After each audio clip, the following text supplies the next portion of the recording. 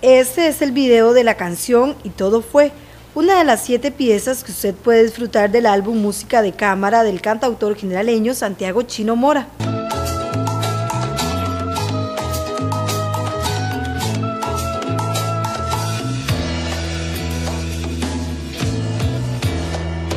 Se grabó el 2 de agosto de este año en la comunidad de Villanueva de Pérez Celedón. Bueno, es un proyecto nuevo que quisimos eh, hacer. La idea nació hace un año, en agosto de 2016, entre Jorge Salas y yo.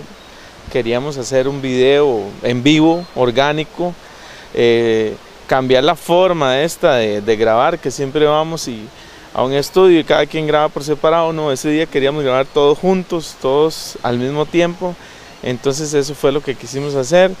Vino nuestro productor desde Los Ángeles con todo su equipo de grabación y nos instalamos en una cabañita en, en Villanueva, en Pérez Celedón. Entonces ahí se dio el, disco y pues el resultado ha sido increíble porque nos sorprendió a todos porque el día fue un poco tenso y un poco lleno de muchas emociones, pero al ver el resultado la verdad que valió la pena.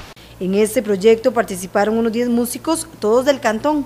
Los músicos todos somos de Pérez Celedón, son músicos nacionales e internacionales, por ejemplo, contamos con Rafa Monge que es oboísta en la, en la Orquesta Sinfónica de la UNAM en México, este Jorge Salas que estudia en, Utah en el Snow College. Y también tenemos a Fernanda Pérez en el trombón, que ella es parte de la Orquesta Sinfónica en San José.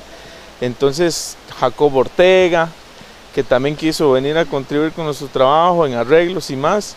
Y pues Gerson Fallas, que es también aquí un bajista local muy bueno que, que se unió al proyecto. Y un par de camarógrafos, Alfredo Lamas, que es nuestro productor, y su hijo, que también nos ayudó en la guitarra.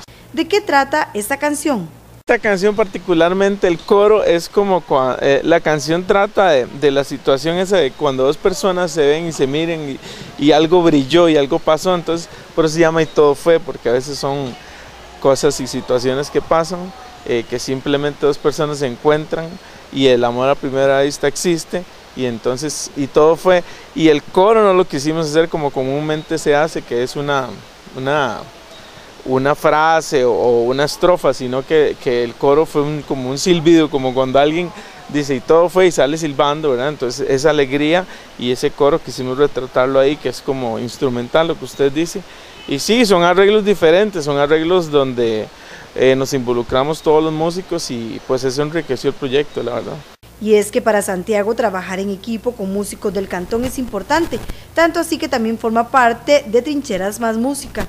Ahora estamos unidos con un, programa, con un programa que se llama, o un proyecto que se llama Trincheras Más Música, donde nos unimos este, los músicos de acá y vino un productor este, que se llama Fito Román, que es el que nos ha asesorado y nos ha metido muchas ideas y nos ha puesto a trabajar y, y quizás eso era lo que nos hacía falta, ¿verdad? alguien que tuviera la experiencia y que supiera canalizar cada una de las, de las virtudes que tenemos los músicos de aquí de Pérez. Entonces, pues vamos desarrollándolo, ya hicimos un proyecto, ya hicimos el Sur Vibra Fest y creo que va para más. Para observar la nueva producción de Santiago o bien toda su música, lo puede hacer a través de su canal de YouTube.